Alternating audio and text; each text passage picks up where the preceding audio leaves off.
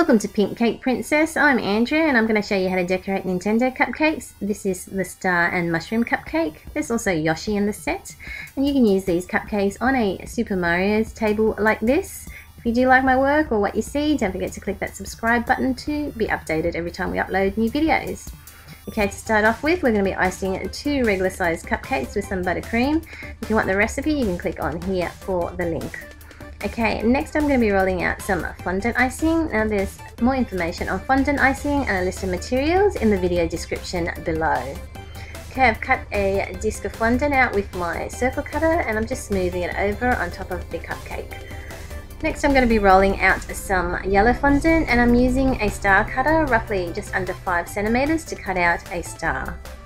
Okay, just smoothing the edges over there and then I'm just going to roll out some black fondant. I'm going to use a straw. It's about half a centimeter in, well, the width is about half a centimeter across.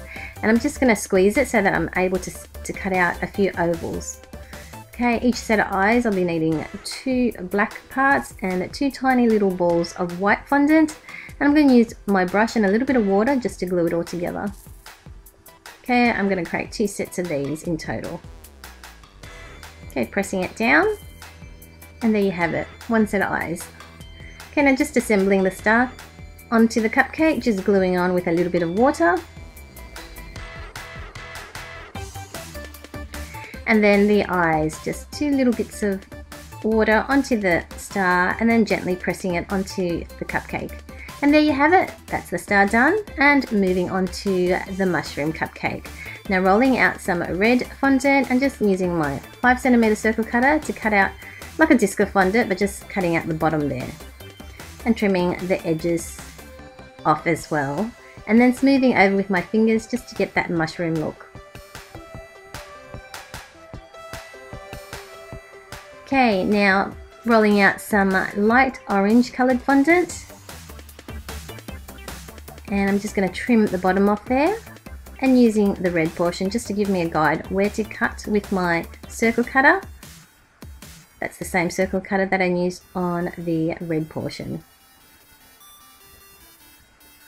Okay, and just cutting the top off, and that's roughly where I want it. I just want the bottom slightly rounder, so I'm just going to use the same circle cutter just to trim a little bit more off, and then smoothing it over. And now onto some more white fondant, using a 2cm circle cutter to cut out a couple of discs of white fondant and I'm just going to stick one circle on top of the mushroom's head there and the other one I'm just going to put on the edge and using the same circle cutter to cut off the section that I want and then gluing it on and again the other side using the circle cutter as a guide to cut it off and then gluing it on again. Now at this stage if you are liking it could you please click that like button below and also add to your favorites so that you can save it if you want to come back to review this sometime in the future. Thanks very much for doing so and if you really want to help out you can also share my work with whoever you think may be interested. Okay and I just gluing it on all together on the cupcake and that's it. That's your mushroom cupcake done. Goes great with the other two cupcakes and I hope you guys like what you see. And like I said if you do like my work don't forget to also uh, click that like button and share it with whoever you want to share it with. And remember to favorite and comment on my video too. Don't forget to click the subscribe button as well here. And if you watch to the end there's a link to the Yoshi cupcake video if you click here.